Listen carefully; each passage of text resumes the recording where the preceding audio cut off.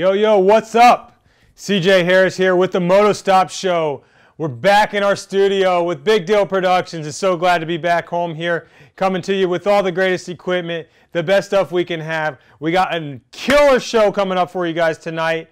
Uh, guests call in. We're going to have uh, Justin Starling on with a great ride, new team. We're going to catch up with Starling and see what's been going on with the Florida boy. We also got a lot to talk about with Oakland just wrapping up. I thought that we seen the best race the week before at Glendale, but uh, man, was I amazed and surprised by what happened and went down at Oakland Supercross.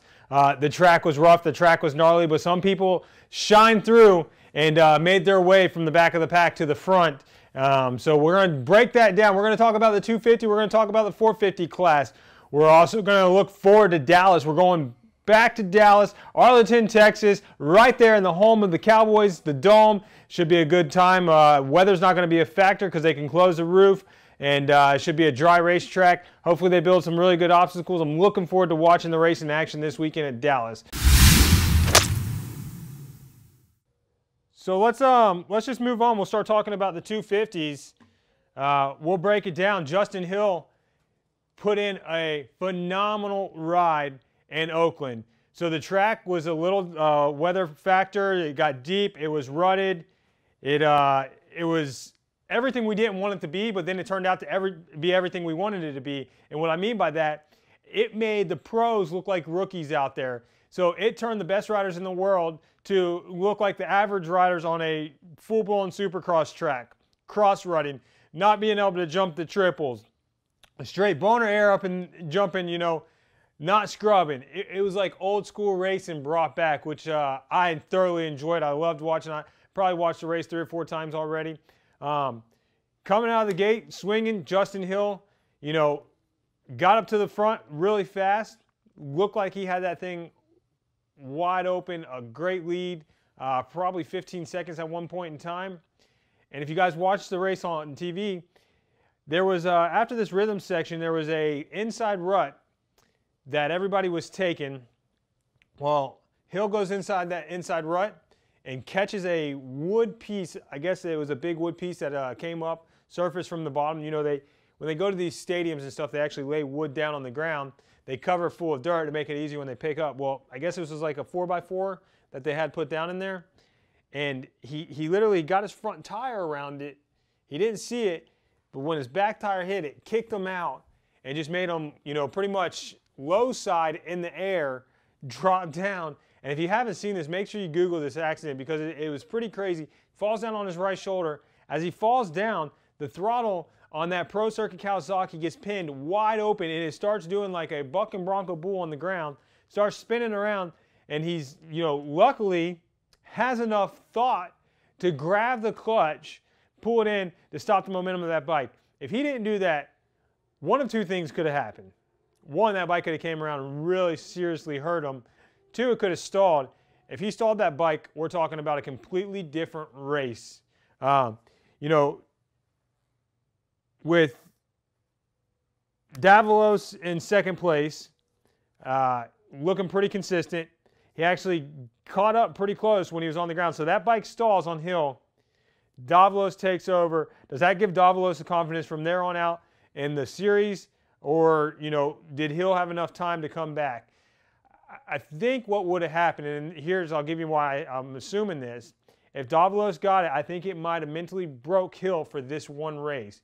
Because as that, when he got back up, got back on his bike, he wanted to get that lead back so bad that next lap or two, he made about 10 mistakes uh, that really cost him. And those mistakes aren't the normal mistakes that a normal rider was going was making out there on that track. He he was all over the place. After he settled down, he went back to riding like he did in the first opening, you know, laps and started gapping uh, Marty Davalos again, but it almost cost him. So I think if the bike would have stalled, Marty Davalos passed him, we were looking at a completely different outcome, obviously, with somebody else winning, but, uh, you know, it becomes a mental game from there on out. So, talking about second place, we got Marty Davalos coming in second place there with a solid ride. Um, best performance out of him for the year. In that third place, Shane McElrath, solid guy. Uh, you know, what impresses me by Shane McElrath is his ability to come out this series and ride like he's never rode before, not only on, you know, nice tracks, Anaheim one, um, big long straightaways last weekend at Glendale with tricky rhythm sections, but when the tough get going, he got it going. He had that KTM dialed in, even in the, the ruts, the stuff. So it's a lot like Ryan Dungey. You know, if your worst day is a third, that's how you win championships. So with uh, Shane McElrath rounding out the podium in our top three places, you got Jimmy Decotis coming in fourth place, a solid ride by Filthy Phil Nicoletti in the fifth place. Um, Aaron Plessinger coming through with uh, a sixth place. Now, solid ride by Aaron Plessinger, but almost disheartening. I, I really feel like Aaron has the talent, the skill, and the ability to be charging and challenging for wins in this 250 class and he's just not been able to pull it together. Now, the, the start has really hindered him, uh, so maybe he'll be able to figure the starts out and get a little better starts, but he's got to put the whole thing together. AP's really got to get this dialed in. This was his track. Rutted, tough, crazy track. He should have did a little better. I'm kind of disappointed with it. Aaron Plessinger in sixth place. Um, in that seventh place ride, Kyle Chisholm, another phenomenal ride by Chiz. A lot better than he's been doing. Uh, in, in the past rounds, and I think it's that experience, the rough track, the rutted. You know, his, his experience really shined. Another uh, boy who we're going to try to talk to here in a little bit, Mr. Justin Starling, a boy from Florida. Really cool to watch this kid uh, progress. Call him a kid. He's not really a kid, but uh, to watch this young man progress, his skills are really starting to show through, coming through with a solid eighth place ride, his best finish of the year. Um, Justin also just switching, getting a ride over with uh, JMC Motorsports as well. You know, he had a good thing going, I believe, and, uh, and hopefully we get him on the phone so we could talk to him and figure out, you know, why he decided to, to switch teams and what was going on with that. But uh, yeah, a solid ride by Justin. In ninth place, we got Noah McConney. Tenth place, uh, Heath Harrison, the number 68. That's rounding out our top 10 in the 250 class. There was a lot of great racing action, a lot of bar banging. Um, this track is what we really call racing the track and really not so much the competition. Sometimes slowing down makes you go faster, and this was a prime case of what, you know, what you had to do. You, you couldn't race the competitor, you had to race the track. You had to hit your lines, you had to hit your marks. And I think we've really seen that in the 450 class, which we're going to dive into here in just a little bit. But the, I, I was a fan of Oakland. I think the, the complete track crew, Fell, Dirt Wurx, everybody did a phenomenal job keeping that track in shape. Um, you know, making it safe for the riders, but making it challenging as well. So, pretty cool. We're going to jump into the 450 class. And if you don't know, I'm going to go ahead and blow your mind. Eli Tomac is back. That dude came out with a ride. Man, again, Glendale. I thought it was the best race we were going to see all year round. What Eli Tomac did in Oakland was flawless. So I think comes off the start. He's roughly about eighth place, something like that. I don't have those in front of me, but somewhere back there. Um, has to make his way up to the front. You could have asked me lap four, lap five, how it's going to win or how it's going to end out. I would have told you Cooper Webb's going to win. Cooper Webb in the first few laps was so good looking, so fast, looked very aggressive. Dungey out front. I thought what was going to happen was Cooper was going to catch Dungey and Dungey was going to settle for second on that gnarly track. But that's not happening. Cooper comes, Dungey feels the pressure, Dungey turns it on, winds out that KTM a little more, and uh, gaps Cooper. Meanwhile, you got this freaking green rocket ship coming up from the back Eli Tomac, somebody forgot to tell him that this track was rough, rutted, and you're supposed to take your time on it because he did the complete opposite. The dude held it pinned, wide open pretty much around everywhere. Um, came in, he had the, the one section dial where he was doing the triple quad. It, it was very cool to watch this race unfold. Comes around Cooper, makes the pass, uh, around that start section where you come over the finish line, got the left-hand corner, dives in, he makes a pass, but I think he could have still pulled the triple quad. I believe he goes, you know, it's not really safe. So he triples, doubles, makes a little mistake. Well, Cooper pulls the triple quad, sends it right past Eli Tomac. I said, oh, damn. That pissed Cooper off. He's coming back. Tomac had it.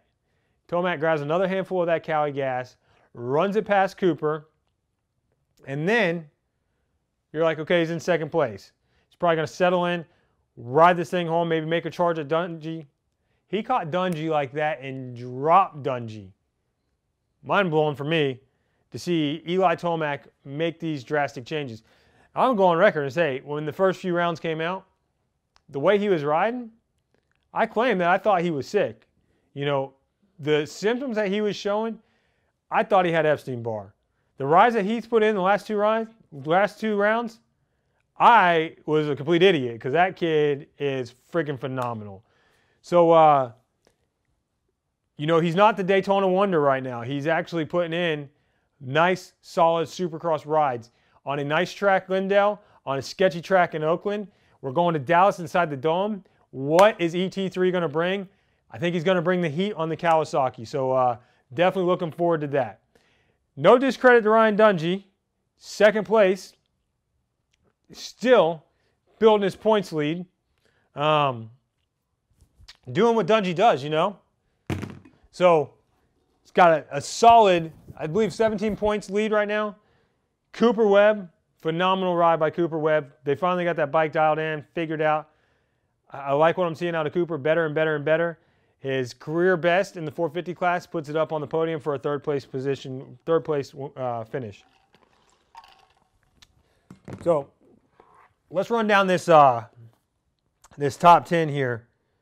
Jason Anderson coming in that fourth place position. Cole Seely with a solid ride in the fifth place position. Davi Millsaps. Nice ride by Davi in the sixth place. Seventh place going to go to Blake Baggett. Eighth place, Chad Reed. Little, uh, uh, Chad Reed was kind of like my um, Aaron Plessinger in the 250 class. Really surprised by that eighth place finish by Chad.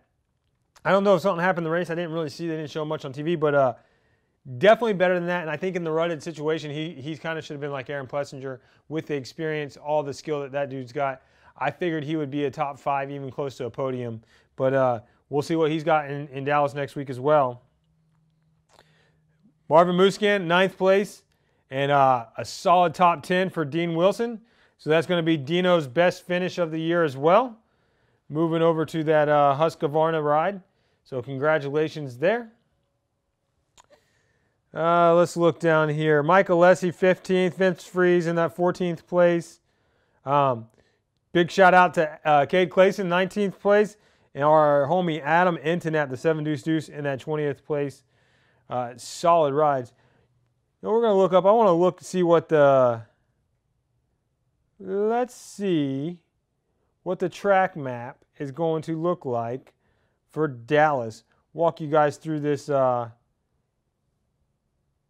this track map here as it comes up. You know, they, they race in the, um, the Dallas Dome. The Arlington, Texas is actually where it's at. And it is going to be amazing. Maybe I'm not going to pull the track map up. It still wants to give me Phoenix. We're not trying to look at Phoenix, are we? Ah, what the hell. Anyways, we'll move on from that. So, uh, you know what? Let's, uh, why don't we jump to this commercial break real quick? Hang out with us. We got a lot more coming up right after this. Check out this quick commercial. Hopefully, we'll get Justin Starling on the line. We'll have the track map, trap map, map, that, that, that, yeah. We're going to have some shit coming up as soon as we come back. Stay tuned. We'll see you here in just a little bit. Dude, I am starving. You guys want to go eat? Yeah, bro, let's hit it. Let's roll out.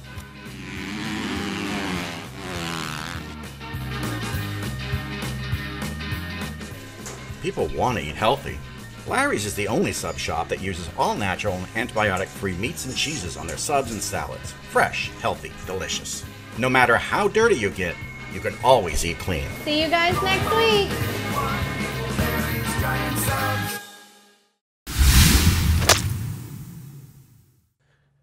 All right, welcome back. We hope you guys enjoyed that commercial. As always, thank you for following along. Thank you for enjoying what we do.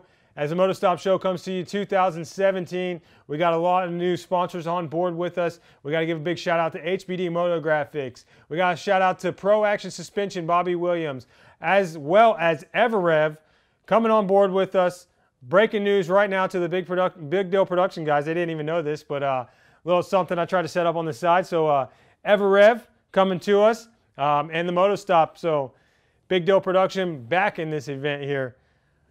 We're going to talk a little bit about Dallas Supercross, Dallas 2017. We're going to kick it off with the track map.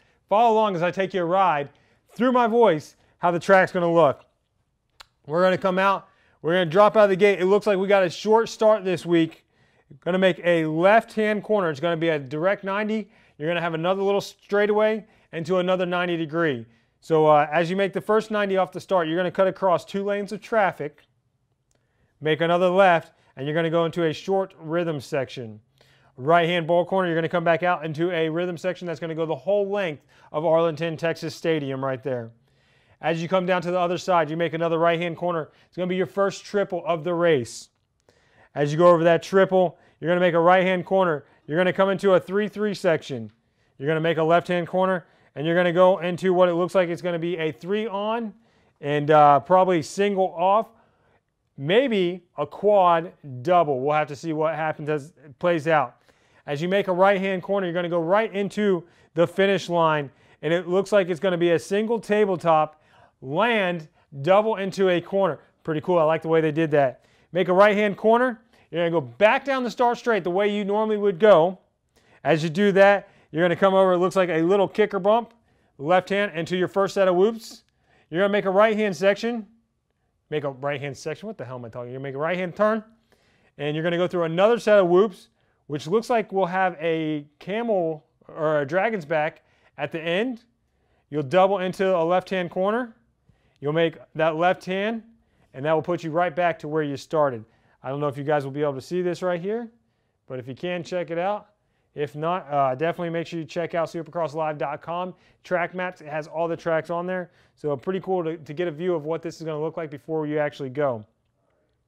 So let's talk a little bit about 2016. So, woo, 2016, we're going to start off the 250 class. Uh, Cooper Webb, obviously he's not going to be a threat to the 250s, but does he have something for the 450s? Uh, Christian Craig put in a solid ride with a second place there. Zach Osborne, third place. Uh, Colt Nichols, fourth place finish. Mitchell Oldenburg, fifth place. Alex Martin got a sixth place finish. And Jimmy D coming out in seventh place position. That's last year, 2016. In your 450 class, Ken Roczen was your champion, your winner in 2016, followed by Ryan Dungey, Jason Anderson, Cole Seely, Eli Tomac, Marvin Musquin, Davi Millsap, Christoph Pourcel, Trey Canard, Jake Weimer. So with momentum, I would say I've got to put my money on Eli Tomac this weekend. The last two rides we've seen, something has clicked in that guy's head. He is phenomenal right now. He has the confidence, he's got the momentum. Obviously, his bike is working right. If he comes right to Dallas, Texas, Eli Tomac will have three wins in a row. The question will be what unfolds behind him? What is Ryan Dungey going to do? Does Ryan Dungey step above, go above and beyond, really push the limits to try to stop the momentum of the Monster Energy Kawasaki rider Eli Tomac? Does Cooper Webb push the envelope to get to that next spot for a win or even a second place? What is Jason Anderson?